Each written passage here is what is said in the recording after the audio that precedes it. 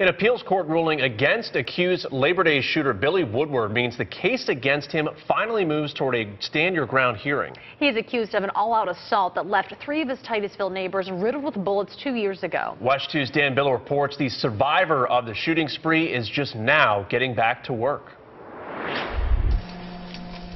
Bruce Blake is on his first welding job in two years. He survived 11 gunshots when police say Billy Woodward, seen on a home security camera, opened fire on Blake and two other men.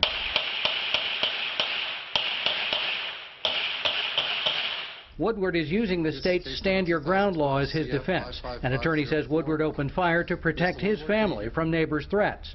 Gary Hembree and Roger Pishore were killed. He won't stand in no ground. He was on my ground, killing Gary and Roger, trying to kill me.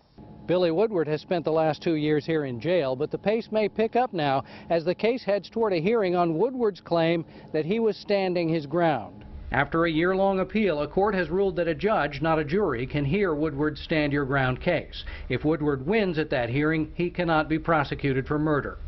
While waiting, Blake has had 13 operations on his 11 gunshot wounds.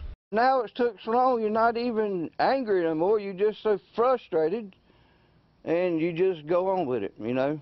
He's also waiting to testify.